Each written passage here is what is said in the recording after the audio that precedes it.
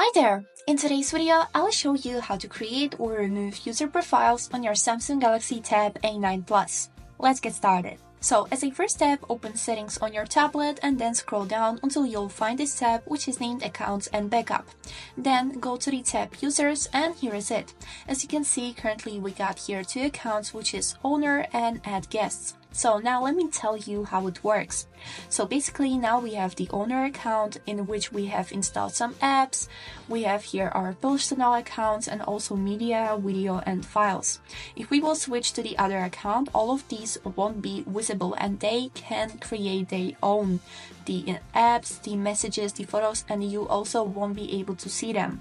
So this is especially useful if this device is using more than only one person.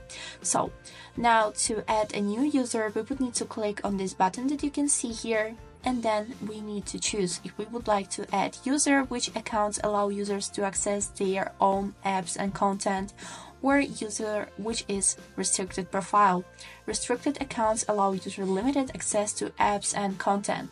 So for example, let's choose the basic one, then click next and add name, for example, Cassie. And you can also add a photo if you want. So we click done and this is it. Now you have successfully created a new user and you can switch to it by clicking on it and clicking switch to Cassie. And now the last question left, how to remove an account. You need to choose that account first, just as I did, just simply by clicking on it and then click delete user. Then click delete and this is it. I hope this video was helpful and thanks for watching.